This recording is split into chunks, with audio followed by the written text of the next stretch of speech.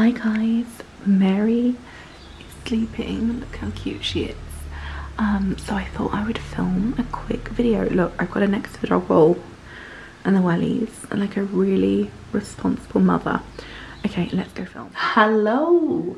Wait, am I in focus? There we go. Hello, how are you? I am back again. Oh my god, today me and Mary went to soft play. It was pretty wild. It was our first time at soft play. I feel like I'm, I need my motherhood card now. Um, it was fun. I think she liked it. Yeah, it was pretty, it was busy, it was loud.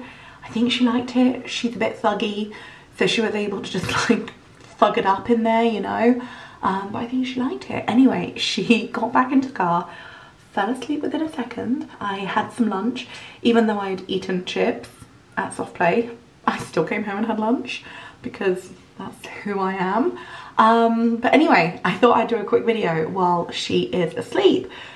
So today, today I am talking about the other Aldi dupe that I was going to talk about. This is the number, God, I've got a lipstick swatch on my hand, forgive. Um, but this is the Aldi Jo Malone dupe. It's number three, pomegranate, not pomegranate noir, just pomegranate. Yeah, they actually tried with this one to change to change the title.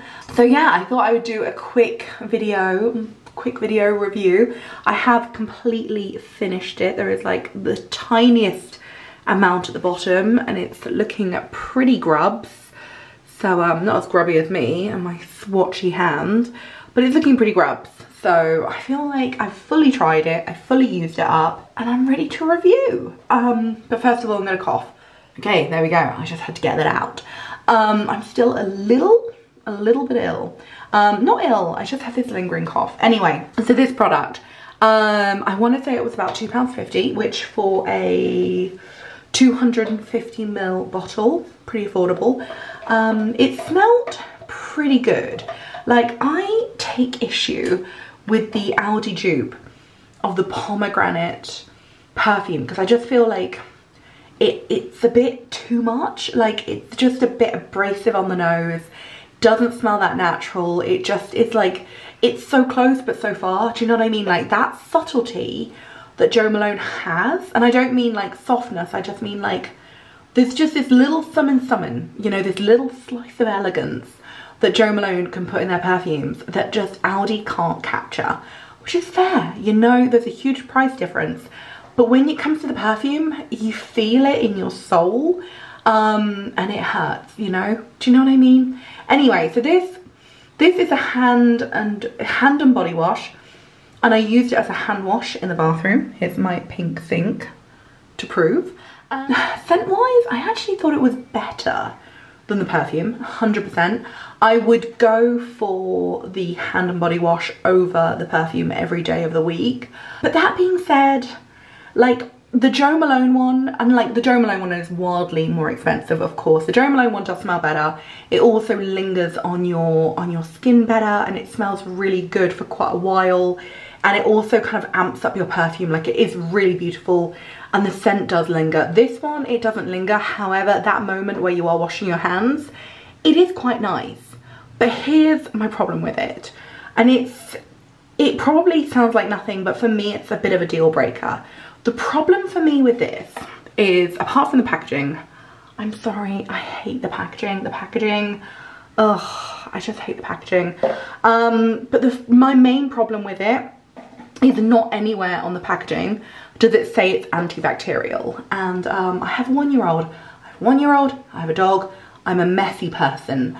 I like my hand washes to be like a Carex like kills 99% of bacteria type thing because I'm just, I touch the dog, I touch Mary, Mary touches the floor, I touch the floor. Like, you know what I mean? It's like I'm a mucky person, I'm exposing myself to germs, I'm exposing Mary to germs, and I'm just like, do I need it to smell of pomegranate and fake Jo Malone? Or do I need it to actually wash my hands and kill bacteria? And for me, as nice as the pomegranate noir is, and it is actually quite nice, for me, I'm just like, no, I need my hand wash to fully, fully wash my hands. Like that is what I need from my hand washes. I need that kills 99.9% .9 of bacteria because that's just what I need. And also like Mary is touching stuff. I am putting hand wash on her. I am, sorry, am I even in focus?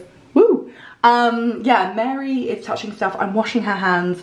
I'm putting on that hand soap. I'm rinsing her hands. And I want her to be like, her hands to be bacteria free, especially when she's like been touching the bin. Um, so for me, I won't be buying it again. If I did buy it again and if I was to recommend it, I would say to use it in the shower as a body wash, not a hand wash. Um, but yeah, for me, I'm just like, do you know what? 250 is great. It actually genuinely is. But I would rather spend a pound and have that Carex kills 99% of bacteria vibey thing going. Um, but yeah, I would say if you're going to buy it, um, maybe don't have children, maybe don't have dogs, maybe have some Carex as well, which kind of defeats the object of it. But I would say if you're going to buy it, just use it in the shower. Um, I think it's better as a shower thing. Anyway, that's my video. That is my review. That is my personal thoughts on the Aldi Jo Malone dupe of the pomegranate.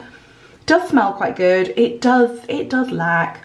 You can smell the difference. I don't care what anybody says. I can smell the difference.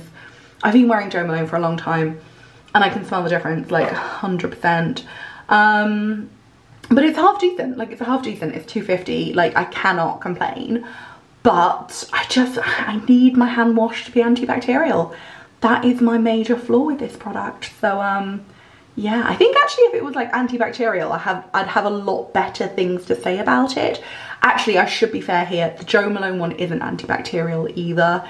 So I'm not actually comparing like for like, so I don't want anybody to be like, this is really unfair. The Jo Malone one isn't antibacterial either. And like, that's fair, it's not antibacterial. And I won't be buying that one either. but um, yeah, I think for me, it's just like, nope, I need Carex, I need um, I would say actually, if you are buying Carex, buy the shea butter one. It smells really good. But I think for me, I'm just like, nope, it's a hand wash. It needs to be antibacterial. I'm too much of a mucky person. Um, but yeah, if you want to buy this one for the shower, I would say let, let's, let's focus in on this bad boy. Ooh, have I got it? Have I got it?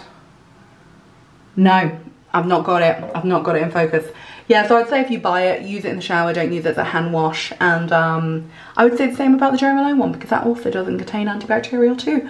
So yeah, that was my review. What do you think? Thank you for watching. um, yeah, I'm gonna I'm gonna go see Mary and um, I don't think she's awake yet. So who knows what I'm gonna do with my next 10 minutes of freedom. I have to say, soft play wore her out. It was great. Anyway, thank you so much for watching. I'll see you again soon. Have a lovely day. Goodbye. Oh, there she is. Say bye, Mary.